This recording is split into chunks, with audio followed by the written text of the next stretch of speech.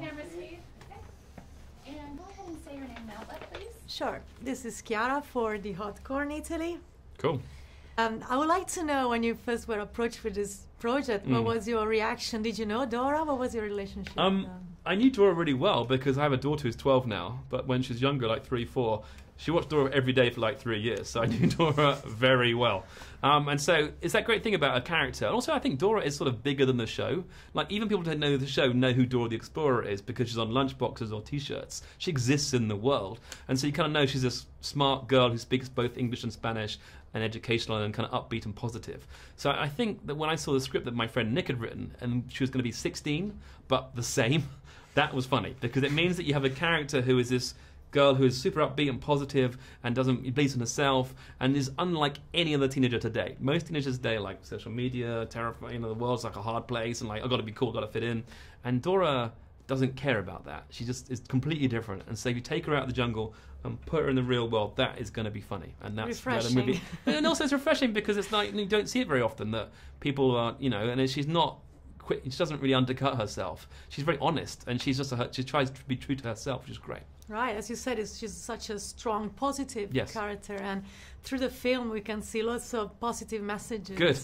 And but if you had to say, like in a in a sentence, what you, would you say this movie is about? I think it's being true to yourself. That's the most important. I mean, obviously, it's been said a lot of times, but think Dora is a great example of being true to yourself because she understands that she's different, but she doesn't care. She doesn't try to fit in. And as a teenager, the great pressure is just to be like everybody else or try and be cool. And Dora is not interested in that. She just knows what she likes and wants to be herself. And I think that's a great, that's a very freeing idea that you can do that and get, be fine. And that's what's good about her going back to the jungle because the kids that go with her learn from her. Like she can learn from Diego about friendship, but the other kids learn from her about living in the moment, being true to yourself, learning about the world. The world's a magical place. It's not all about, you know, fantasy, it's about reality of the world. The world is a magical place. And also together you're stronger. Right, together you're stronger, exactly. And that's what Dora kind of learns about friendship. She's great, but she needs people to in her life. And but she's also an icon for cultural exchange. For sure. Yeah, because So- she she does she's educational in the past, and for us too, it's very important because Latin American culture is not just about Spanish and English; it's also also about um, indigenous culture. Like the Quechua language, uh, the Inca language used throughout the movie, is super important because it's kind of Isabela herself is half Peruvian, so she speaks Quechua, which is very helpful because it's about the cultural exchange of South America as a whole.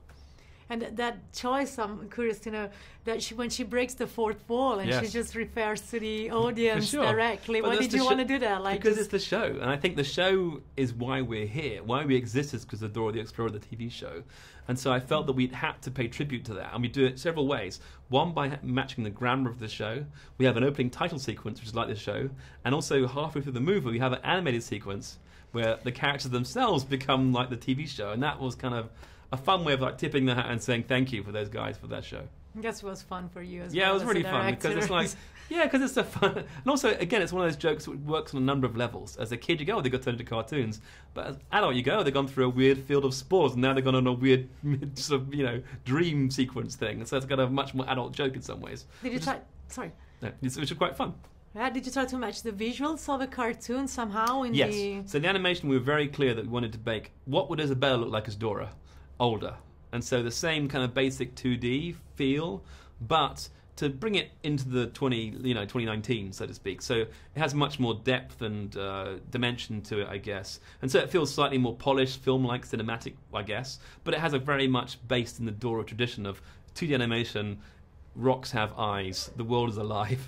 Right, right. that kind of idea. All right. Thank you so much. My pleasure. Nice to meet you. Thank Thank you. you.